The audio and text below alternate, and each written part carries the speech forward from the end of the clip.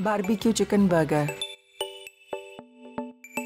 barbecue chicken burger गोश्त लिया हुआ है बोनलेस तो इसको हम थोड़ा सा ऑयली कर देंगे, यानी तकरीबन चार से पाँच खाने के चम्मच। एक cup bread crumb bread crumb क्या करेंगे? बेसिकली इसमें जो चिकन की एक्स्ट्रा नमी है, उसको भी जज्ब कर लेंगे। इसमें एक चाय का चम्मच नमक। ये आगे इसमें। साथ में एक खाने का चम्मच गार्लिक पाउडर एक खाने का चम्मच इसमें मस्टर्ड पेस्ट आ गया। और अब ये सारी चीज़ें मैं मिलाऊँगा। तीन खाने के चम्मच बारबेक्यू सॉस शामिल कर देंगे। वैसे ऊपर भी डालेंगे बर्गर के लेकिन ये यहाँ पे भी थोड़ा सा शामिल कर देंगे पैटी के अंदर। इसकी भी मुख्तलिफ़ टाइप्स आ रही है मार्केट में। आ, लोकल भी है इम्पोर्टेड भी हैं। इसके बाद इसको पहले अच्छी तरीके से मिक्स किया। और हम जब तक इसका कीमा निकालेंगे और फिर आपको इसकी पैटी के साइज़ भी बताएँगे। जो बन हमारे पास है रेसिपी कार्ड में गलती होगी। मेरे ख्याल में उसमें तीन पैटी लिखी हुई ये सारा का सारा पहले मिक्स बनाएँगे, फिर इसका वज़न करेंगे।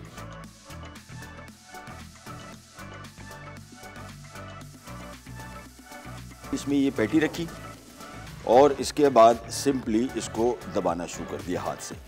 इसको हमने इतना स्प्रेड करना है कि बिल्कुल मुकम्मल तौर पे हाथ थोड़ा सा गीला कर लेते हैं ताकि इजीली हो जाए।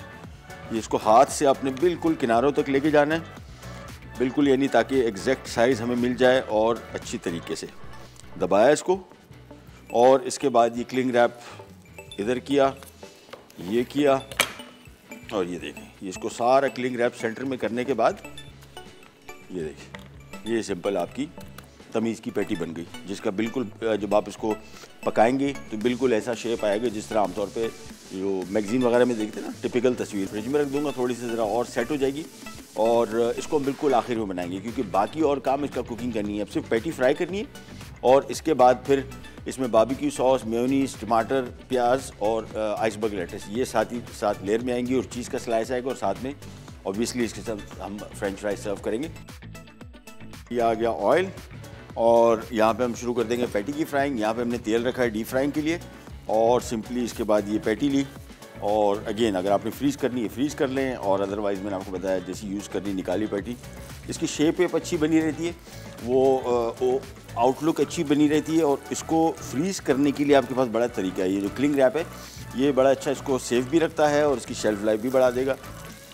ये एक एक करके पैटी टर्न की और कुकिंग टाइम जितना मैंने आपको बताया टोटल आठ से दस मिनट है। इसको कभी डिफ्रॉस्ट ना कीजिए। बहुत सारे लोग क्या करते हैं इसको डिफ्रॉस्ट करते हैं और फिर फ्राई करते हैं।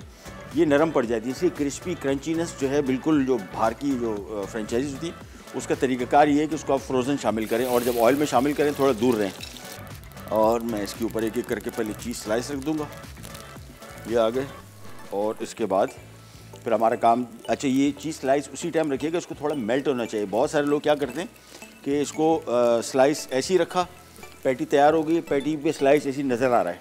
इसका मेल्ट होना ज़रूरी है पिघलना। लिहाजा इस स्टेज पे मैंने इसमें शामिल कर दिया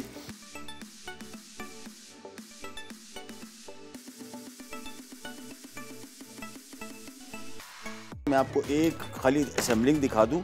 मेयोनीज लगाया पैटी के ऊपर और सारी बन के ऊपर आइसबर्ग टमाटर, ये पैटी आ गई। ऊपर से अनियन के स्लाइस अगेन इसमें जो कोई चीज़ माइनस करनी है। बहुत सारे बच्चे टमाटर, प्याज वगैरह नहीं खाते, अब अब टू देम आप माइनस कर सकते हैं, लेकिन ये बारबेक्यू सॉस आपने मस्ट इसके ऊपर डालना है। ये इसका मेन फ्लेवर पैटी में भी आया है इसका। लेकिन जो टेस्ट इसके बारबेक्यू सॉस को बगैर पकाए हुए आएगा, वो नथिंग लाइक इट ये सारी तैयार हो गई सिंपल पैटी ली, वो बन लिया, हल्का सा प्रेस किया। और ये आ गया आज का हमारा barbecue chicken burger